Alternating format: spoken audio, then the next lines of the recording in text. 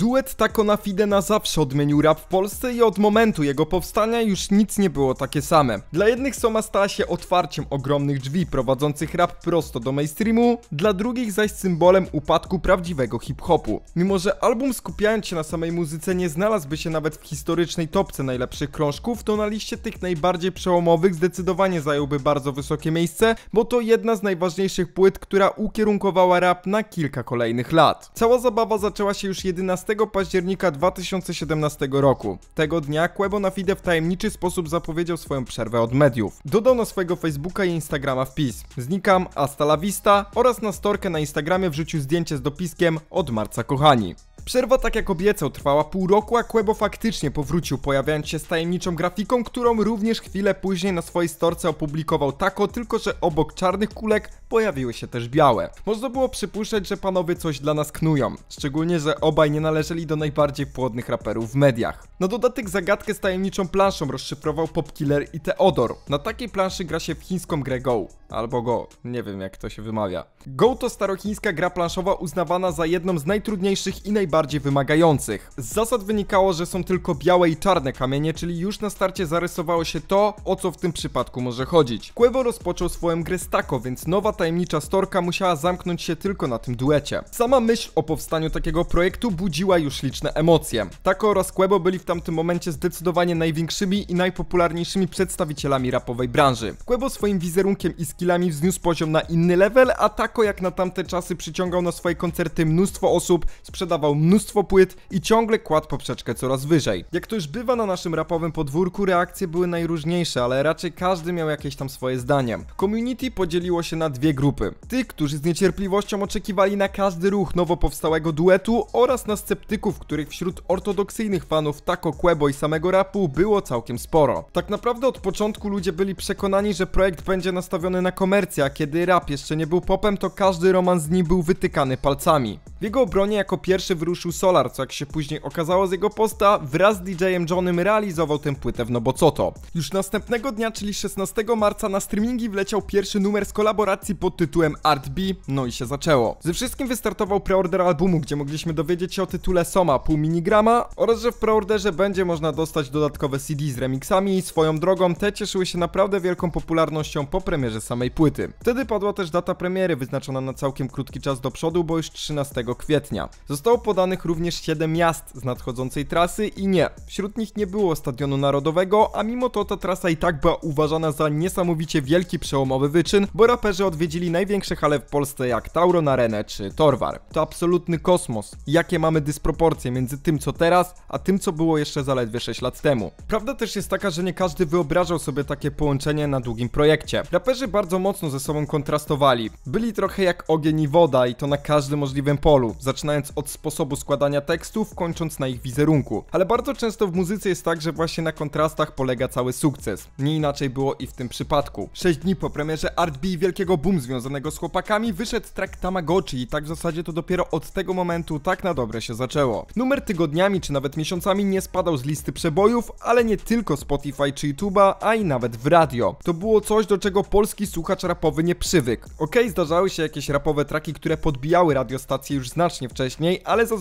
mówiąc grzecznie boomersko, były one trochę obciachowe. Mainstreamowy hip-hop oraz rap może też dlatego zawsze źle kojarzył się polskim słuchaczom i dlatego ci dostawali każdorazowo spazmy, gdy tylko słyszeli słowo rap w połączeniu z radio. Tamagotchi uważam, że było świetnym, wyważonym numerem i choć można dywagować nad tym, ile miało to wspólnego z samym hip-hopem, tak ciężko dywagować nad tym, czy jest to rap. I słychać to w Tamagotchi, szczególnie po samym bicie, czy bardzo mocno zapadającej w głowie melodii. Ta nutka po prostu hipnotyzowała, sprawiała, że po dwóch, trzech przesłuchaniach nie mogłeś wypędzić jej z głowy. Tak naprawdę mimo wielu świetnych numerów na tej płycie, do dziś to ten track uważany jest jako taka ala wizytówka tej płyty, czy może bardziej hymn. Moim zdaniem ten utwór też jest takim symbolem, punktem przełomowym, kamieniem milowym, jeżeli chodzi o wchodzenie rapu do mainstreamu, zresztą jak cała ta płyta. Wiadomo, że chłopaki sami siebie się do tego nie przyczynili, chociażby swój kamyczek dorzuciło SBM, ale oni mam wrażenie, że byli takim pierwszym elementem układanki, gdyby nie ten duet, to coś czuję, że wszystko szłoby znacznie wolniej i dziś nie bylibyśmy w miejscu, w którym jesteśmy. Numer w niecałą dobę wygenerował 1 800 tysięcy wyświetleń, co wtedy było rekordem YouTube'a. Również został pobity polski rekord Spotify, gdzie numer w ciągu 24 godzin odtworzono prawie 320 tysięcy razy, a po tygodniu wielkim sukcesem na polskim, jeszcze nie rozwiniętym Spotify było 1 800 tysięcy odsłuchań, ale w tydzień. To był nowy rekord platformy. To, co bardzo mi się podobało w tej promocji, to było to, że pomimo wielkiego rozmachu i pewnego sukcesu, chłopaki głównie postawili na muzykę, ale i również szybkie tempo wydawnicze. Traki wychodziły w naprawdę szybkiej częstotliwości, nie trzeba było czekać po pół roku, żeby tylko single nabiły sprzedaż i żeby zarobić więcej kabzy. Już 9 kwietnia 2018 roku mogliśmy po raz pierwszy usłyszeć numer kryptowaluty, który zresztą po Tamagotchi w promocji płyty odbił się chyba największym echem. No ale znowu tu zadziałała formuła spoko melodii i wbijania się w banie. Zresztą to też zaledwie jeden z dwóch klipów, co myślę, że mogło mieć jakieś znaczenie. No i wybuchła też afera plagiatowa, przy której co oczywiście oberwało się pośrednią twarzą tego projektu, ale w zasadzie to wyszli naprawdę z tego suchą stopą i mogło być znacznie gorzej. Numer kryptowaluty miał łudząco podobny beat do traku Mick Milality.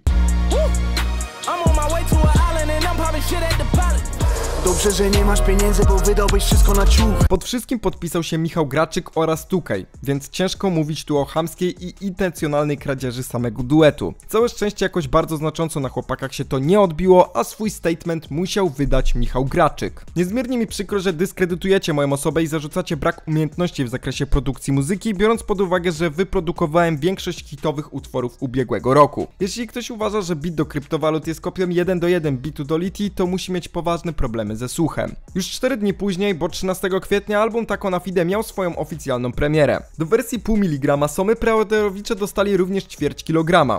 Nie kilograma, ćwierć miligrama, sorry. To wcześniej wspomniany album z remixami, na którym pojawił się Kenke, Paluch, Białas, BDS czy Kac Bałaganem. Dobór ksywek mocno ponadczasowy. I choć każdy z tych raperów dziś jest już w innym miejscu, to trzeba przyznać, że dali oni szansę raperom, którzy na back będą za ileś lat wspomniani w historii hip-hopu. Dodatkowa epka cieszyła się nie mniejszym zainteresowaniem. Najlepsze liczby zrobił numer z BDS-em, który w całym projekcie stał się drugim najpopularniejszym trackiem. Jeśli mam być szczery, to zupełnie się nie dziwię. Track za jego sprawą poszedł w zupełnie innym kierunku, wcześniej był znacznie bardziej melancholijny. Osiem kobiet z BDS-em i bez to tak naprawdę dwa różne numery. Sama płyta weszła na taki rozmach wyświetleniowy i popularnościowy, jaki polski rap nie widział od bardzo, bardzo, bardzo dawna. To jeden z największych komercyjnych sukcesów w całej historii naszego podwórka. Tako na Fide nie znalazłoby się pewnie w topkach najlepszych płyt tej dwójki, ale też pewnie nie taki był tego cel. Muzyka jest dość przystępna do odbioru dla każdego, szczególnie te największe hity. Moim zdaniem od początku zamysł był taki, żeby odniosło to sukces daleko wybiegający poza polski rap. Chłopaków stać na dużo więcej, ale mieli chrapkę, by pójść w innym kierunku, no i co by nie mówić, to się udało. Najlepsze co wyszło tako na Fide moim zdaniem to melodyjność i chwytliwość tych numerów. Bardzo często gdy raperzy idą w tym kierunku, to ta melodia jest stawiana ponad wszystko i zabiera duży pierwiastek samego rapu. Co tego nie można powiedzieć, bo co by nie mówić, to genialnie jest to wyważone. Multum follow-upów, gier słownych, brzmienie, bity, zabawa słowem, no tak naprawdę tu jest wszystko, czego potrzebuje rapowa płyta. Problem pojawia się jednak na innym ważnym elemencie, na elemencie treści. Generalnie no tej tutaj nie ma za wiele i przejawia się bardzo mocna i wyraźna monotematyka. Drogie marki, drogie ciuchy, mamy dużo siana, depresję i sława nas przygniata. Niektórzy czuli również spory brak autentyzmu.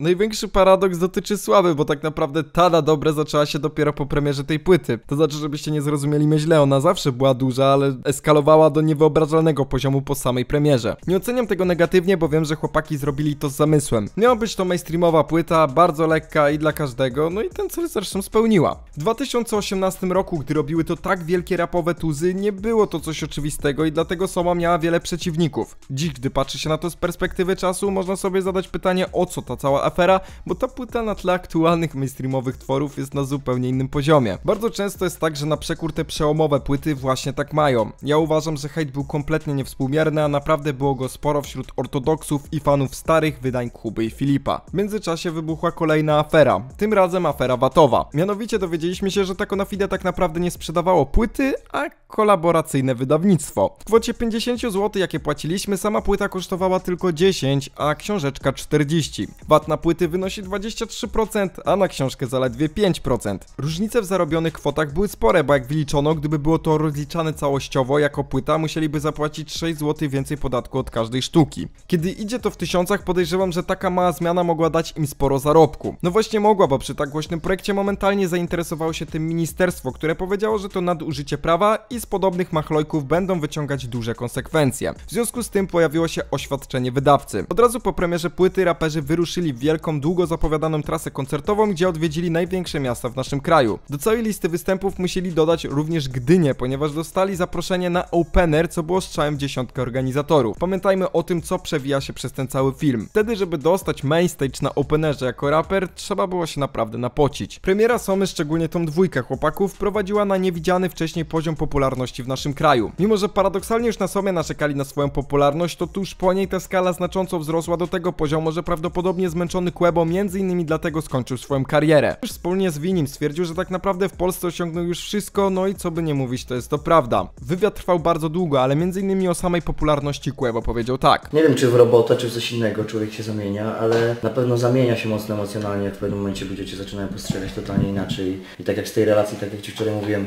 takiej ziomalskiej, z tymi osobami, które, które słuchają Twojej muzyki, przechodzisz do takiej relacji, że oni po prostu patrzą na Ciebie hiperbolizując się totalnie jak jakiegoś superbohatera, szarpią Cię, zdrowają Ci koszulkę i tak dalej, i tak dalej. Zdecydowanie wolałem tę pierwszą wersję, jak mogę sobie spokojnie wyjść, pogadać z nimi i tak dalej, a, a nie było jakichś tych takich heroicznych pisków yy, i w ogóle, bo to one mi robią chyba najwięcej szumu i takiego zamieszania w głowie to jest mi totalnie niepotrzebne. Mało kto pamięta jeszcze inną aferę, tylko golfową z udziałem Taco. Na klipie do kryptowalut Fifi jest ubrany w żółty golf marki Zuo Corp Plus. Nie mam pojęcia, czy dobrze to przeczytałem. Marka pochwaliła się tym faktem na swoim Facebooku, na co momentalnie odpowiedział mu przedstawiciel asfaltu, do którego należał wówczas Taco. Jeśli Państwo jakimś cudem nie wiecie, że fakt ubierania przez mojego mocodawcę czegoś z Waszej kolekcji nie uprawnia Was do posługiwania się przez Was jego wizerunkiem i marką w działaniach marketingowych, to niniejszym uświadczam ten fakt. Beef zatrząsł miastem, bo firma się nie przestraszyła, a nawet zdecydowała się wejść w potyczkę słowną. Drogi panie, bardzo nam przykro. W zaistniałej sytuacji chcielibyśmy prosić o usunięcie wszystkich ujęć państwa artysty Taco Hemingwaya z teledysku kryptowaluty za wykorzystanie naszego flagowego produktu w nieprzekroczonym terminie 24 godzin. W zasadzie to nie wiem na czym afera się skończyła. Jeśli ktoś ma jakieś info, to niech pochwali się w komentarzu, ale podejrzewam, że Asfalt już odpuścił. Lekko ponad rok od premiery dostaliśmy informację, że album Taco na Fide pokrył się diamentem. W tamtych czasach był to naprawdę ogromny sukces. Tych diamentowych płyt było naprawdę mało, a zdobyć ją jeszcze w rok. Pierwszy diament w karierze Fifi odebrał ciutkę przed koncertem na Stadionie Narodowym z Dawidem Podsiadło, no taki mały przysmaczek do całego wydarzenia. Panów pod szyldem Taco na Fide wspólnie usłyszeliśmy od premiery płyty już tylko raz przy okazji Hot Stick Team Challenge 2, gdzie dowiedzieliśmy się chociażby, że Quebo wydał na klocki czyjś łańcuch. Panowie kompletnie przedefiniowali to, czym kiedyś nazywano mainstreamowy rap. Raz, że weszli na wcześniej niewidziany na tym podwórku poziom, a dwa, że zrobili to nie sprzedając swoich wcześniejszych wartości czy ideałów oraz na mocnym poziomie. Jak na pop rap naprawdę nie możemy mówić, że było to jakoś wybitnie słabe. W tym momencie nie wiem co musiałoby się stać, żeby ten komercyjny sukces udało się im powtórzyć. To był splot wielu losowych rzeczy, które ewoluowały w coś tak wielkiego. Dzięki za oglądanie tego materiału do końca. Jeżeli ten wam się spodobał, to serdecznie zapraszam was do oceny, do subskrypcji oraz do obejrzenia mojego poprzedniego filmiku, w którym mówiłem o tym, jak Szpaku z najbardziej hejtowanego rapera w Polsce stał się raperem roku. W komentarzu zostawiajcie pomysły na kolejne bardzo ciekawe materiały. Mówił do was Jerzyk, do następnego i siemano.